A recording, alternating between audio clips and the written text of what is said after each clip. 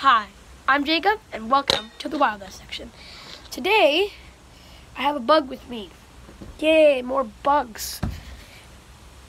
This is a black vine weevil, also known as a weevil. and these little critters are fairly common throughout uh, the entirety of North America, and do have them in Canada and the United States. And uh, yeah,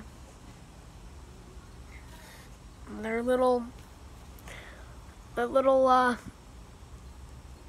vegetarians because they feast off of vines. This species of weevil does. Uh, that's why it's called the black vine weevil, and it's also called the black vine weevil because look at the color, it's black.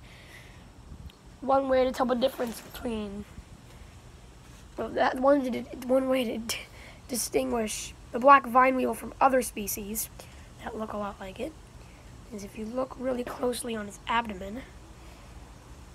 Uh, that's the wrong finger. you look really closely, I don't think you can see it, but there are little spots on its abdomen. And that's how you identify this uh, beetle too. Uh, weevil, sorry, not a beetle. I mean, it's technically a beetle, but it's more of like its own species. Uh, they're technically called weevil flies. People call them weevil flies sometimes. Uh, and, well, that might be just a separate species. I don't know. I don't know too much about this critter yet, but really cool, really cool, fascinating creature. Uh, this species, I know for a fact that it feasts off of vines.